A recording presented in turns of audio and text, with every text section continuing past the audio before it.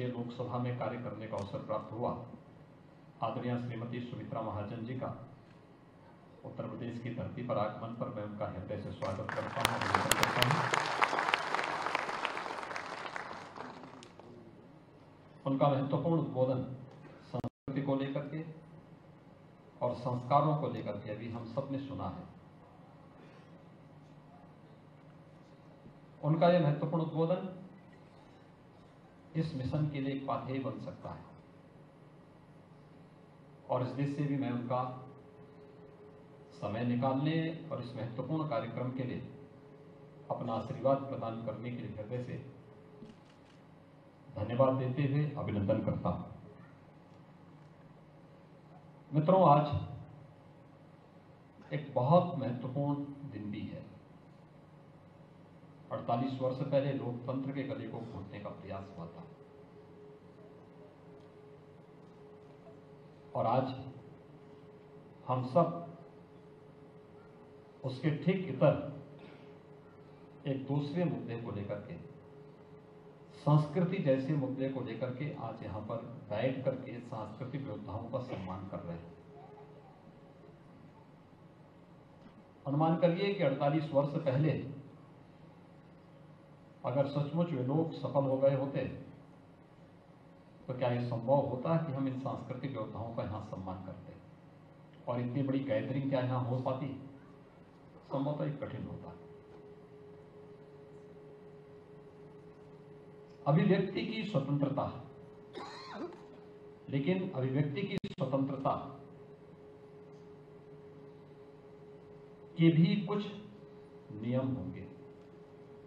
उसके भी कुछ बंधन होंगे, उसकी कुछ लक्ष्मण रेखाएँ होंगी। जैसे व्यक्ति की अपनी पहचान होती है।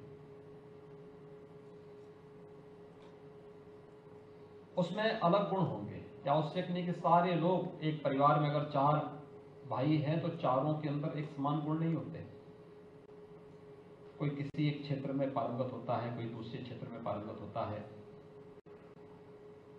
कोई समाज सेवा में जाना चाहता है, कोई सरकारी सेवा में जाना चाहता है, कोई अपने व्यापार को आगे बढ़ाना चाहता है, कोई किसी अन्य क्षेत्र में जाता है। ऐसे ही समाज के अंदर भी आप देखते होंगे।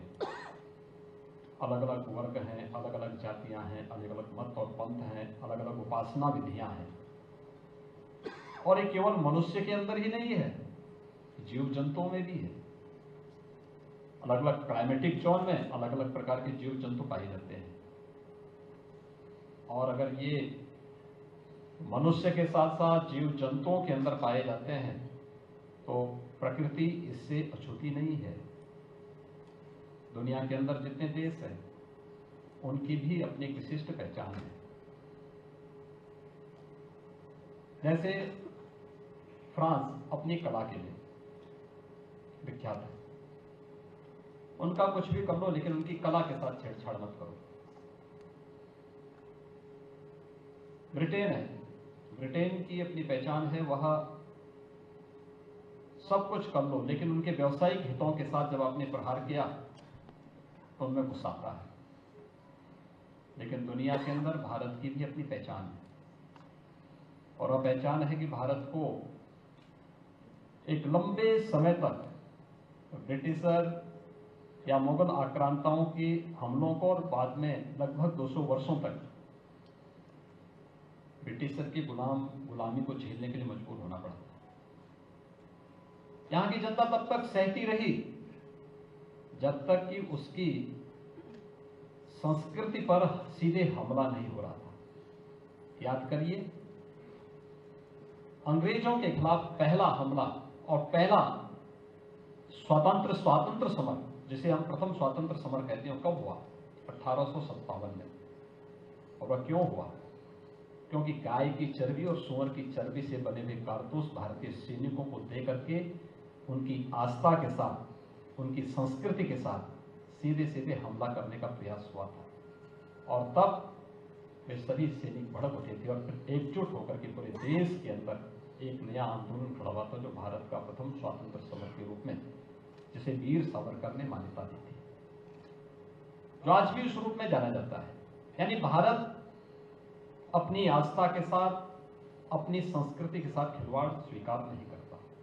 और इसीलिए कहा गया है, भारत से प्रतिष्ठित द्वे संस्कृति संस्कृति तथा, यानी संस्कृत और संस्कृति ये दो भारत की पहचान है। संस्कृति, यानी बीज का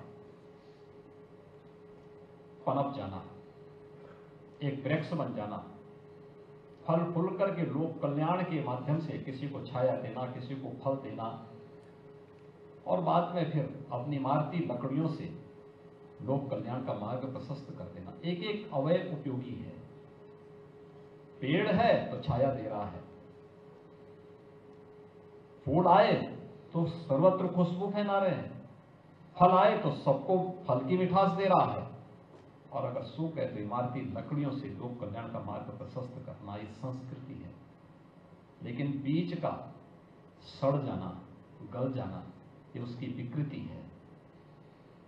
संस्कृति पर हमला उस विकृति को बढ़ाने जैसा है, जो बीज की नियति को फलने फूलने के लिए नहीं, बल्कि बीज की नियति को सड़ने के लिए, गलने के लिए छोड़ देना चाहता है, उसको नष्ट कर देना चाहता है।